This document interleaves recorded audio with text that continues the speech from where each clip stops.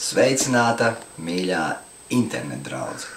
Un es zinu, ka to, ko es šodien runāšu, noteikti, ka kāds no jums būs šādā situācijā. Un tāpēc es domāju, svētais gars grib jūs stiprināt dotajā brīdī un pateikt, kas notiek.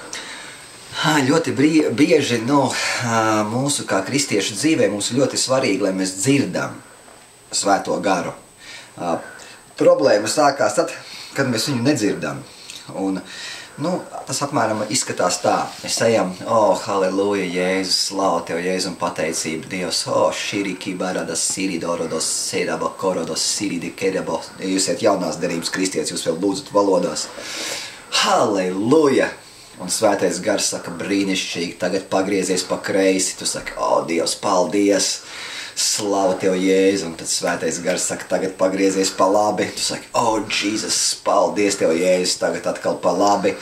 O, oh, Jēzus, paldies! Un tagad taisni. Un saka, o, oh, aleluja, Jēzu! Paldies tev, Jēzu! Halleluja!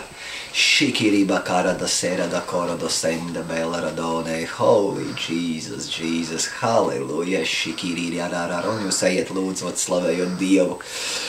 Ejiet, ejiet, un te jūs konstatējiet to, ka svētais gars nerunā. Un jūs, ej, šikirība karaba, širikirīda haudšu, jūs mēģināt viņu dzirdēt, un viņš nerunā.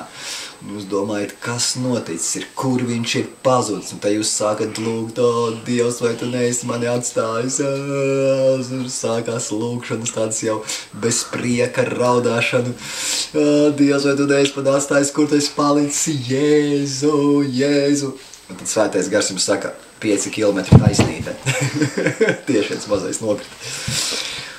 Nevajag uztraukties, dārgais skatītāji, dotajā brīdī atrodies 5 km taisnītē. Tā kā viss ir kārtībā. Fire! Jēzus vārdā. Āmen.